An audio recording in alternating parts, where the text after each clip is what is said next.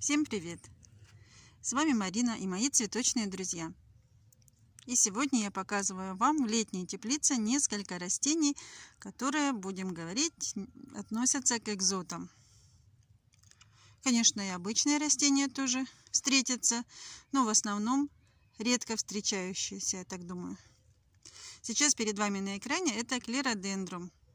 Сорт называется клеродендрум прекраснейший или великолепнейший, но на мой взгляд, он по красоте уступает знакомому нам хорошо клеродендруму госпожи Томпсон. Хотя вот сейчас три больших куста и все покрываются такими бутончиками после дождя, как будто бы ждали вот именно спасительной влаги. Листья у клеродендрума похожи на лист сорта госпожи клеродендрум госпожи Томпсон, но мне кажется, все-таки они не такие шершавые и темнее у них окраска. Здесь же в теплице у меня стоит еще один экзот. Это пахира. Она была обнаружена в одном из цветочных магазинов в плачевном состоянии в прошлом году на уценке. Причем уценка на ней именно была несколько раз. Там было несколько зачеркнутых цен. И в конце концов последняя цена была всего 250 рублей, потому что на ней практически не было ни одного листа. Она перезимовала в теплице. И сейчас вот отрастила такие красивые листочки. Не знаю, как мы дальше будем с ней но пока она живет. Лист у нее кожистый.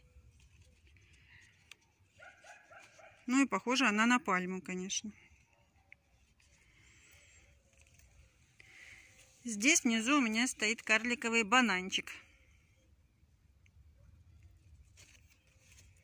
Ну и сюда же из жаркого помещения вынесены герани. Конечно, если все время будут дожди, то гераням придется переезжать под крышу, потому что лишние влаги они не любят.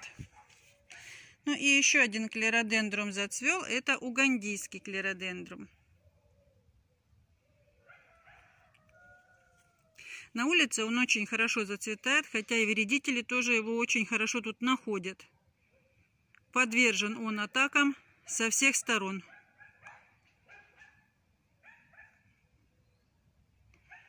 Поэтому если хотите посмотреть цветение, то и с вредителями тоже предстоит борьба. Помимо этого, тут еще пестролистные клеродендрумы.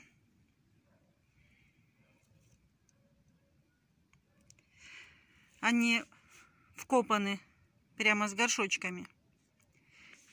И один из пестрых сортов я напрочь засушила. Вообще просто ни одного листа не осталось.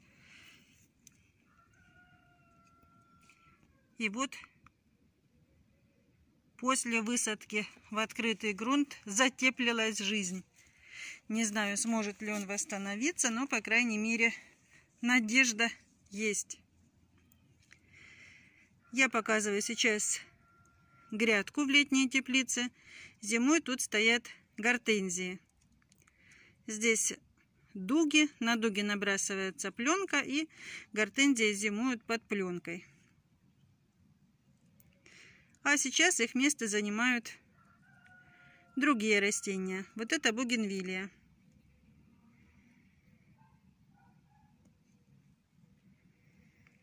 Бугенвилии просто мои любимицы. Еще одно растение, у которого тоже, я считаю, очень экзотический вид, хотя оно относится не к комнатным, а к садовым. Это леспидеция. Ее цветы напоминают по форме цветения бобовых. Ветки у нее очень гибкие, она не может стоять самостоятельно, то есть нужно ставить красивую опору, собирать вокруг опоры ветки, и тогда леспидеция будет выглядеть как красивый фонтан. Это цветет псевдоэрантемум, а голубенькие цветочки это тунбергия. После дождя у нас нет сильной жары, поэтому цветы тунбергии держатся весь день. А если жаркая погода, то к полудню они уже обгорают на солнце. Это еще одна бугенвилия. Нежно-розового цвета. Зимой она почти белая. В помещении э, расцветки становятся бледнее. Здесь поставлены высокие растения, чтобы они в жаркую погоду притеняли клеродендромы, потому что лист у клеродендрома нежный, он может обгореть. А вот эти растения, они к жаре очень устойчивы. Это цеструм желтый. В расцветках есть еще синий, белый, малиновый. Белый я вам потом покажу, когда зацветет. Сейчас он весь усыпан просто бутонами. После дождя как будто бы вот это действительно как в сказке, живая вода. Все ринулось расти и цвести. Еще здесь стоит красивое растение. Это лагерстремия или индийская сирень. У лагерстремии большое уже количество расцветок существует. Приехала она к нам из тропических стран.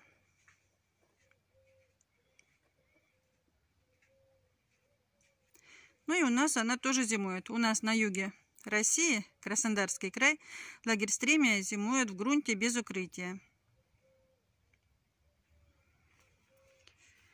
Грядка засыпана песком, чтобы в зимнее время не замокали корни у гортензий. И поэтому здесь нравится суккулентным растениям. Ну и адениумы у меня их несколько штук всего. Зимой они у меня появились. Адениумы я тоже вынесла сюда. Смотрите, какое есть вот утолщение у основания.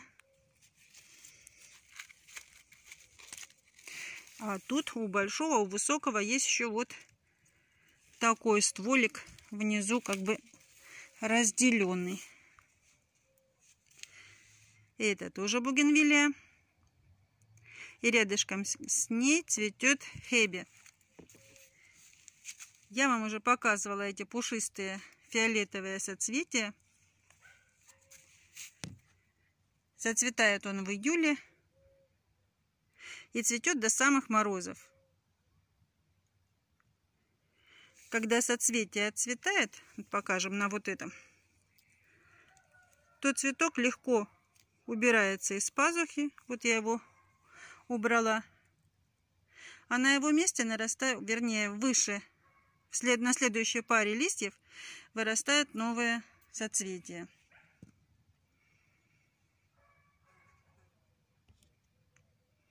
Растение можно формировать, прищипывать или обрезать. Легко наращивает новые побеги.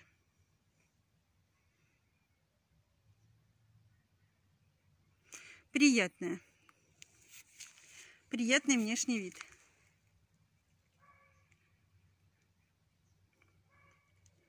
Здесь же у меня были высажены некоторые суккуленты. Например, вот эчеверии. Это эчеверия Rainbow. Эониумы. И здесь же у меня укоренялись комнатные гибискусы. Вчера муж обрабатывал их от белокрылки, но это нужно не меньше, чем три обработки, потому что сейчас она просто зверствует. Жары большой нет. Она прекрасно себя стала чувствовать и стремительно плодится, размножается. В специализированном магазине у нас продаются препараты Аплаунт и Тепеки. Один из них подавляет репродуктивную функцию, а другой уничтожает живых особей.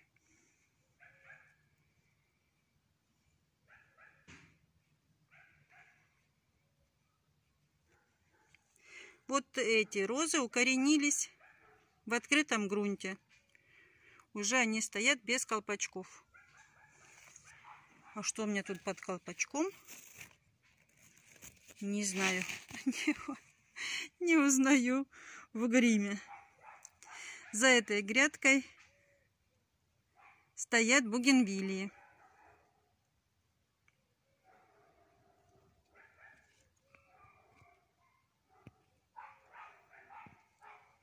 Сейчас покажу сорт Black Maria. У него темные листья.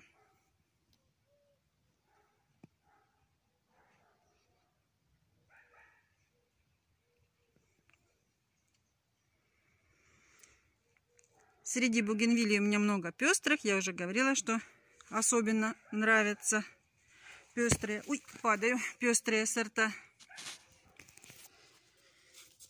Сейчас еще одно растение покажу. Может быть, кто-то знает, как оно называется. Вот у нас на рынке некоторые растения просто визуально выбираем. А что это такое, не знает ни продавец, ни покупатель. Ой, не могу сфокусировать фотоаппарат свой, камеру. Как бы мне пристроиться, чтобы показать. Такой колокольчатый цветочек. Растение похоже на пенстемон. Цветок похож на пенстемон. А лист я вообще не знаю, на что похож. На мой взгляд, вообще на перец. Кто узнал растение, напишите, Ой, прошу прощения, напишите, пожалуйста, что это такое. Здесь немножко укореняшек моих плющей. Это плющи зимующие. То есть они в открытом грунте.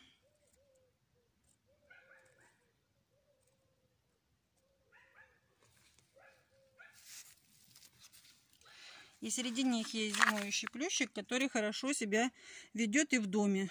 У него листья не ржавеют, не скручиваются. Вот такой астролистный плющик.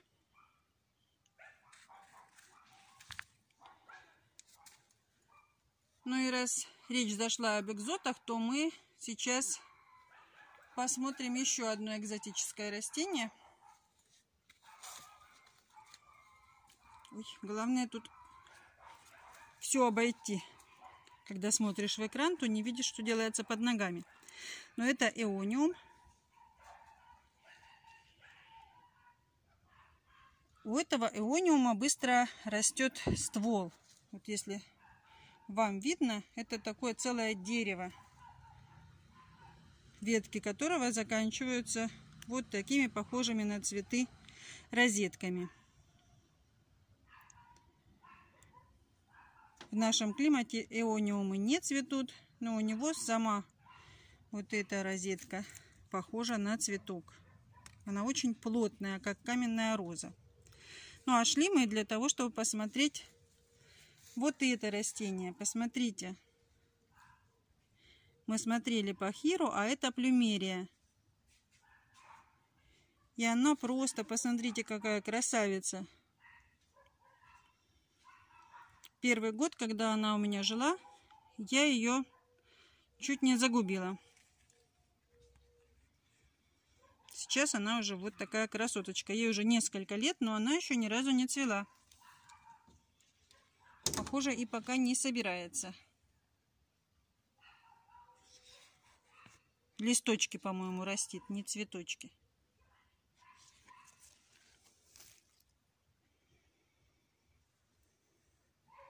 Лето все проводим на улице, а потом вселяемся на зимовку в теплицу.